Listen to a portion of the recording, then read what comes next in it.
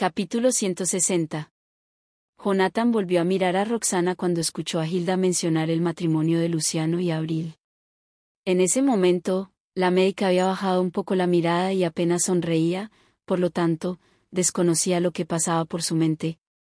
Durante todo el tiempo, Fría fijó su atención en Roxana y por supuesto notó un ligero cambio en su expresión cuando Hilda mencionó el matrimonio, así que se sintió muy emocionada al notar eso.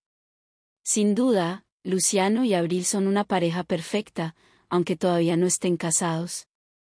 Sin embargo, apuesto a que todo el mundo los considera desde hace tiempo como una familia, comentó. Cuando señaló eso, le lanzó una mirada arrogante a Roxana. Como Sonia también lo había planeado, sonrió y dijo. Desde luego, lo hemos estado retrasando durante demasiado tiempo. Últimamente, Ambas familias han planeado acelerar el compromiso, seguro que pronto lo conversaremos.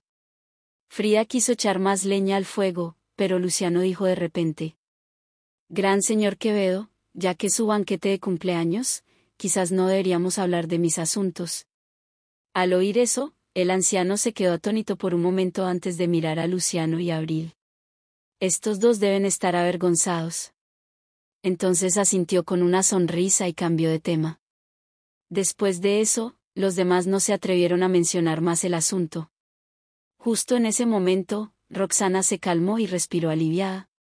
Sin embargo, comenzaba a sentirse incómoda cuando los temas que siguieron no tenían nada que ver con ella y se sintió molesta después de escuchar la conversación durante un rato más.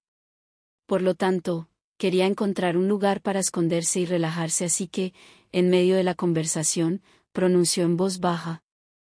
Gran señor Quevedo, Estoy agotada. Si eso es todo, me gustaría descansar un poco. Al oír eso, Alfredo se dio vuelta hacia ella preocupado. ¿Qué ocurre? ¿Te sientes mal? Ah, no. Es solo que llevo tacones y he estado de pie hace un rato. Me gustaría sentarme, respondió tras sonreír con timidez. Como no se sentía mal, le permitió marcharse y asintió con la cabeza. Roxana se excusó cortésmente de la multitud y se dio vuelta para caminar hacia la esquina. Cuando se estaba alejando, todavía podía sentir que el hombre tenía la mirada fija en ella, así que, de manera inconsciente, aceleró el paso. Gran señor Quevedo, por favor, discúlpeme. A Luciano se le ensombreció la mirada al ver cuántas personas se fijaban en Roxana cuando ésta se dirigía a un sofá para tomar asiento. Alfredo se quedó perplejo. ¿A dónde vas?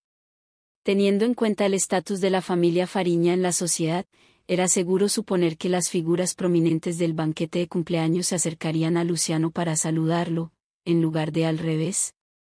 Por lo tanto, debía esperar a que los demás tomaran la iniciativa y lo saludaran. No obstante, Luciano frunció el ceño y se esforzó por encontrar una excusa. Sonia le leyó la mente y supo que estaba ansioso por buscar a Roxana, así que, disgustada, lo tomó del brazo y le sonrió. Hay unas cuantas personas mayores por allí que están colaborando con nuestra familia. Lógicamente, ya que estás aquí, deberías ir a saludarlos. Él siguió su línea de visión y vio a varias personas que sí eran conocidos de la familia Fariña y, tras vacilar un poco, accedió a su petición. Entonces, Sonia le lanzó una mirada a Abril y cuando ella vio eso pronunció. Como yo también los conozco, estaba pensando en saludarlos. Tras decir eso, lo siguió por detrás sonriendo. Luciano, por su parte, frunció el entrecejo.